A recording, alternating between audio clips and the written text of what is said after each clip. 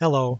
Based on my last set of videos where I was using POV-Ray to compare the flat earth versus the globe earth, I decided I was going to revisit one of my observations that I had done a couple of years ago. I started marking on a piece of paper the end of a shadow cast by a gnomon, and I wanted to track it throughout the entire year, not just on the equinox. I know that on the equinox it's going to form a straight line regardless of where you are on the earth but I wanted to see what it would look like on other days of the year and to see how the geometry plays out since I had the data from a number of days already for my last videos that I had made, I decided to reuse some of the data from that to replicate this in POV-Ray and to compare what POV-Ray generated against what I took and marked on these pieces of paper. So you can see in this thumbnail over here,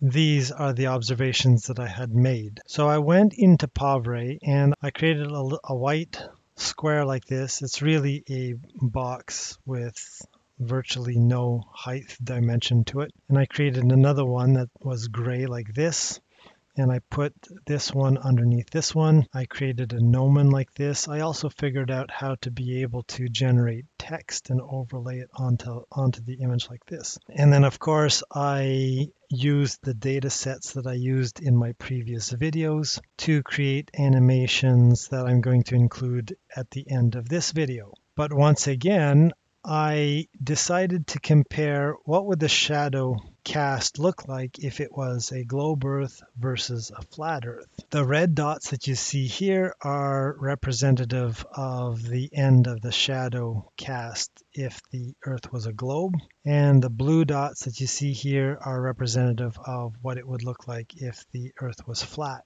The script is a bit of a mess and I don't feel like cleaning it up to make it available just yet. I might end up doing something similar in an upcoming video. But I think for now, this is just going to be a video that I'm going to put out without any links to the script. So I took the image that was generated by this and I added it as a layer. So here you can see I generated for 905. I think that was pretty much the start of this one and this is the result that I got. It took me a little bit of time to remember why the red line doesn't line up with my observations and I explained in my other video the clipboard that I used this clipboard here was not straight and ended up having a one or two degree bend to it and when I had set this up. I made this far side level and what happened was this one was off slightly and it was bent a little bit further south. So this side where the gnomon was was not level. That would explain why my observations did not line up with the computed observations but as you can see the red lines up with my observations and the blue is not even close to lining up. I also took one of the other days that I did, June 7th in this case, and the reason why this doesn't line up with this, I wrote down why whenever I did this. The sun was going behind the tree and I decided to move my setup. And when I did that, I was using the compass that was on the phone and it wasn't calibrated precisely where it should have been. And as a result, you can see that it was slightly off by a couple of degrees. That was the output from POV-Ray and once again I removed the extra stuff, resized and moved it. And once again the red lines line up and the blue lines don't. I had an idea for more uses of the sun's position and it would involve perhaps an architect who wants to show what a house would look like at different times of the year, where the sun would come in and where it would land, let's say maybe on the floor. If somebody's building a house out in the countryside, if they rotate the house a couple of degrees off from lining up with the road, for example, it could create a completely different visual effect with the sun lighting the entire room up or only lighting up only half the room, for example. So I went and found online a script that somebody wrote to place all of the components for a house, including the roof, the walls, windows, etc. Placed the camera inside and rotated the house so that you could see kind of what it would look like maybe at 10 o'clock in the morning, for example. So that was one of the other ideas I had, and that was one of the main goals behind making some of these videos. It really should be fairly evident to everyone that the Earth is, at the very least, a globe, whether the sun rotates around the Earth or whether the Earth turns on its axis, it should be fairly conclusive to everyone that the Earth is not flat.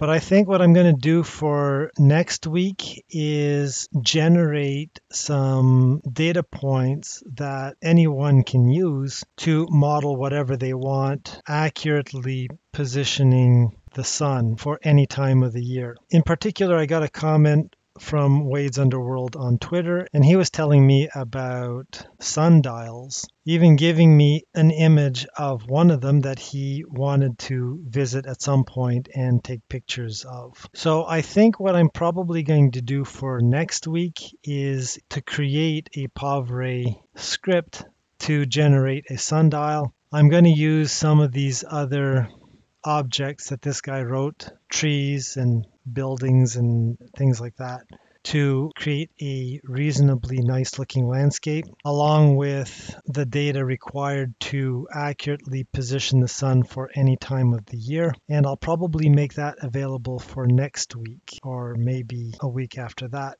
But at any rate I'm going to include some of the animations that I've made to show what the shadow cast by a gnomon would look like, both on globe Earth and flat Earth for a few days.